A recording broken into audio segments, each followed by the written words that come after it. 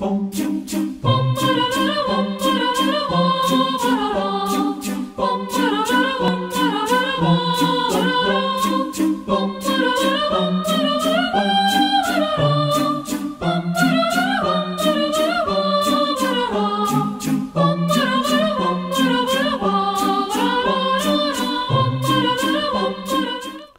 و درود دارم بر شما همه هموطنان بسیار عزیزم من در هفته پیش بحثی رو در رابطه با مسئله جمعیت ایران مطرح کردم که واقعا اگر که آدم ندونه نشناسه که کجا قرار گرفته این جمعیتش چیه برای این جمعیت خواستشون نیازشون کجاست و چگونه می‌تونه که به اینها به خواستهای اینا دسترسی بکنه امکاناتی براشون فراهم بکنه هیچ راهی وجود نداره. هر کسی که حکومت رو در اختیار داشته باشه باز هم امکان این که بتونه حرکتی رو تو جامعه ایجاد بکنه وجود نخواهد داشت.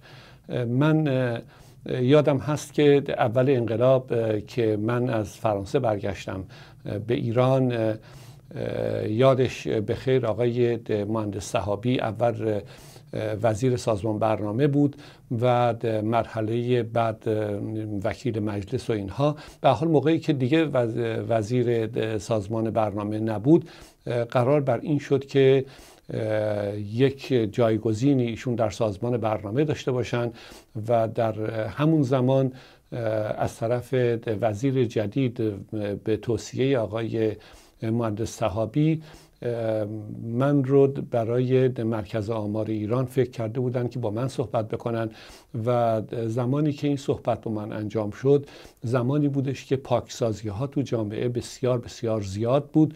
از همه دستگاه های دولتی پاکسازی می‌کردن و رسیده بود به مسئله سازمان برنامه و مرکز آمار ایران.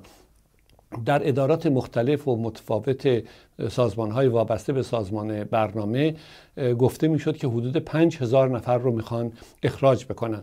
و در مرکز آمار ایران هم یک کسی دیگری که به حال ظاهرا از تودهی های اون زمان بود رفته بود و یک طرحی رو داده بود که با 300 نفر در مرکز آمار میشه ادامه داد بقیه رو باید پاکسازی و اخراج کرد. اون زمان ما حدود 2000 نفر در داخل تهران و استانهای مختلف کشور در ادارات مختلف مرکز آمار کارمند داشتیم آمارگیر و آمارشناس و غیره و غیره.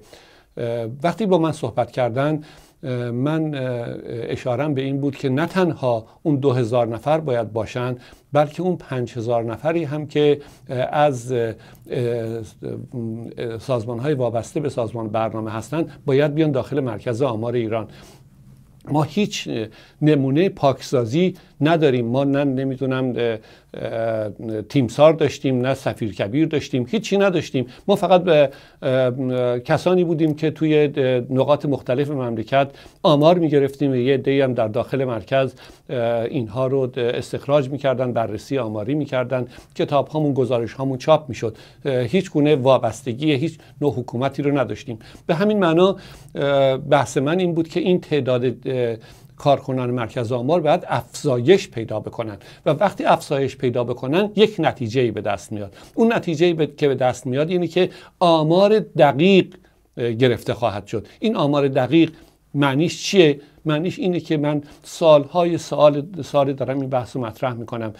ما اگر می‌خوایم که یک جامعه آزاد و مستقل داشته باشیم اول دو ارگان مستقل باید درش وجود داشته باشه. یکی از این ارگان ها بانک مرکزی است. که باید مستقل باشه. یکی مرکز آماره که باید استقلال داشته باشه.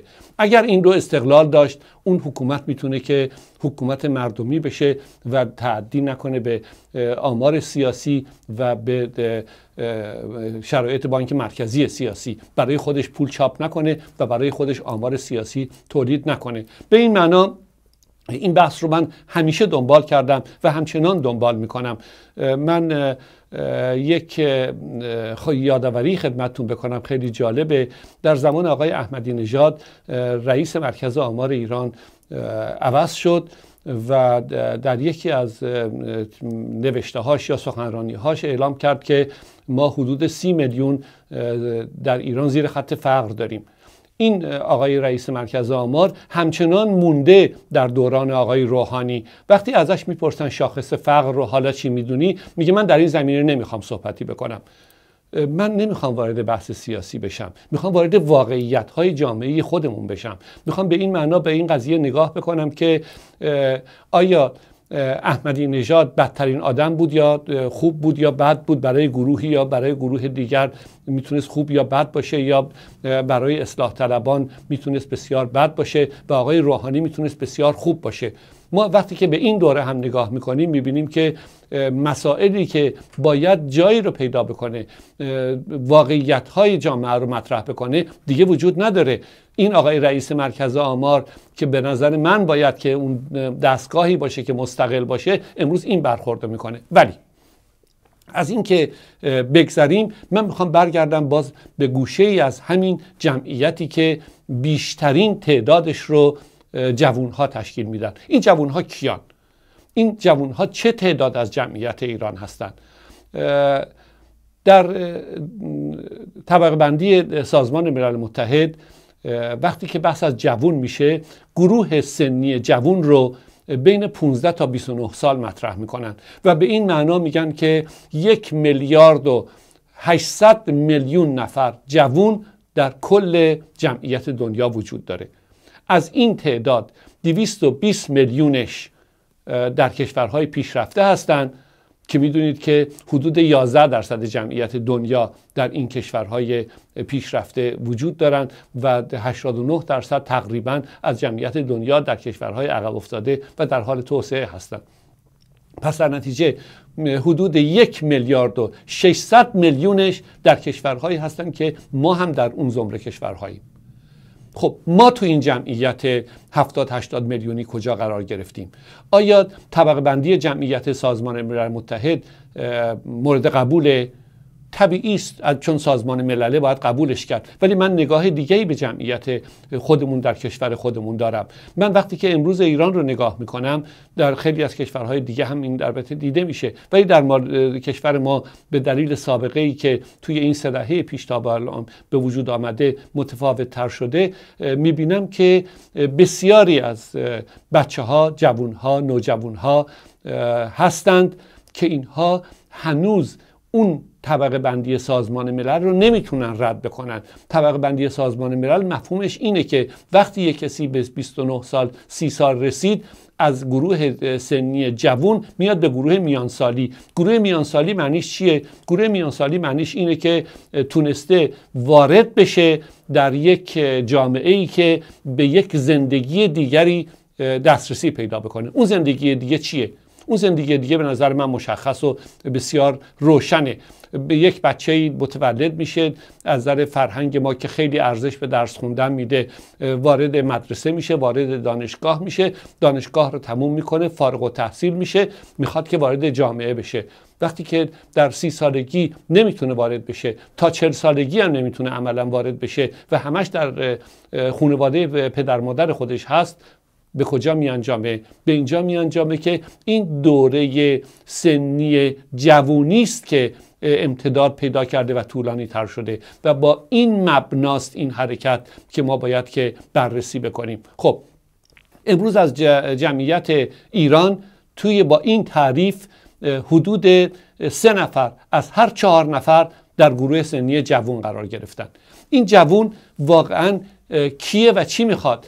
این جوون به نظر من هیچ چیز خاصی رو دنبال نمی‌کنه. به دلیل این آگاهی ها و این ارتباطات جهانی که در دنیا از حدود سی سال پیش به این طرف به وجود آمده اینترنت به شکل گرفته آگاهی های رسانه ای شکل گرفته مردم با خبرن از زندگی همدیگه در جاهای دیگه دنیا اون هم حق خودش رو طلب می‌کنه.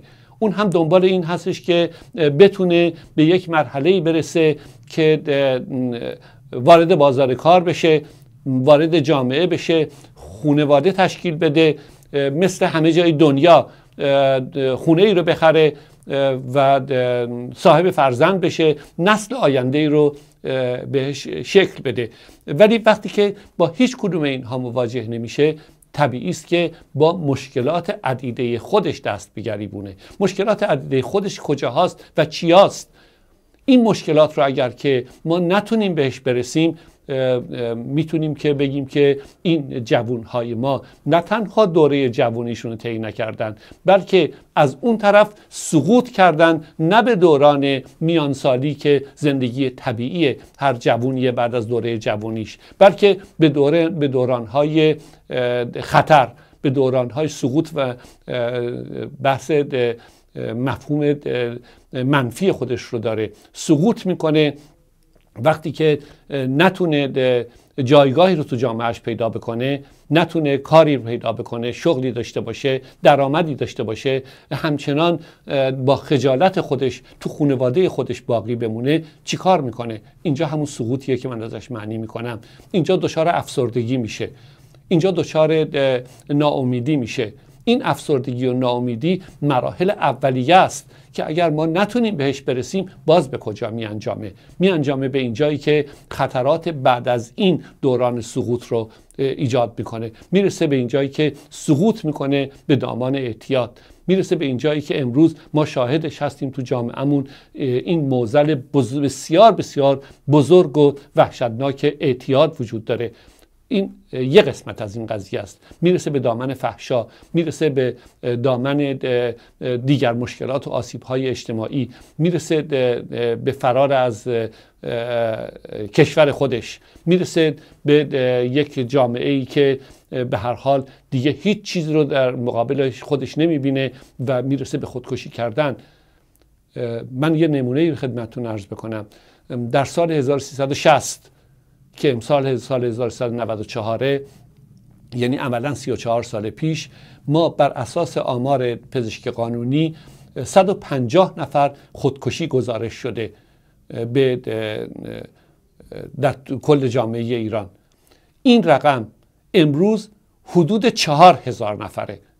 یادمون باشه که جمعیت ایران فقط دو برابر شده. این نزدیک به سی برابر شده. این تعداد درصدی که ما شاهدش هستیم که به هر حال همه جوون هستند. اکثریت قریب به اتفاق اینها زیر 35 سالن یعنی همه تقریبا در داخل حکومت جمهوری اسلامی به دنیا آمدن خب این مجموعه یه گروهیشون هم می‌تونن امکاناتی رو داشته باشن از مملکت فرار بکنن. این گروهی که از مملکت فرار می‌کنن باز دو دسته تقسیم میشن. یه قسمتی از اونهایی که هیچی تو زندگیشون ندارن با بدبختی و عدم امکان میان تو مشکلات مهاجرت توی دریاها غرق میشن مورد تجاوز قرار می‌گیرن. همه و همه اینها به جای خود محفوظ. ولی یه نکته دیگر هم بهش توجه داشته باشیم. اون نکته دیگرش اینه که اون گروهی که بیرون میان امروز شاهد این هستیم که با شایستگی بسیار بسیار زیادی که دارن توی تمام نقاط دنیا جایگاه بالایی رو به دست آوردن. یعنی چی؟ یعنی اینکه در اون کشور امکانشون نداشتن. وقتی به بیرون از اون کشور اومدن همه چی واسهشون با استعداد و نبوغ فوق العادهشون که من این رو در همه بچه های جامعهمون می‌بینم تونستن جایگاه بالایی رو پیدا بکنن این نه به این معناست که همه می‌تونن بیرون بیاد این به این معناست که باید مملکت ما جایگاه شایسته ای رو داشته باشه امیدوارم که این بحث رو بتونیم ادامه بدیم شب و روز شما خوب به خدای ایران میسپارمتون